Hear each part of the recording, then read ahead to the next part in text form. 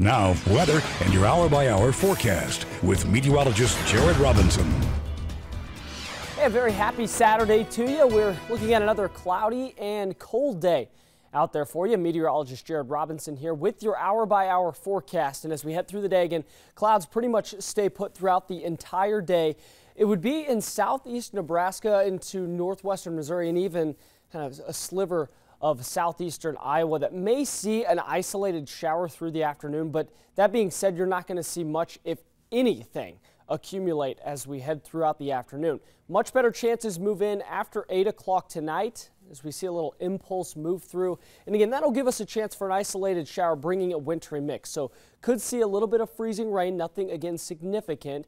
Be more like a freezing drizzle at the most, and maybe even some sleet and some snowflakes flying. Much stronger system moves in as we get into Sunday and Monday, and mainly Sunday night into Monday.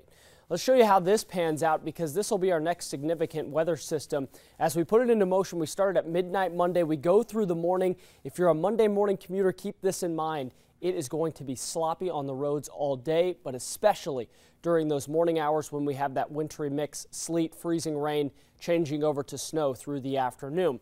We'll keep flurries around Tuesday, and then by Wednesday, Thursday, and Friday, we see temperatures start to climb back to the 40s.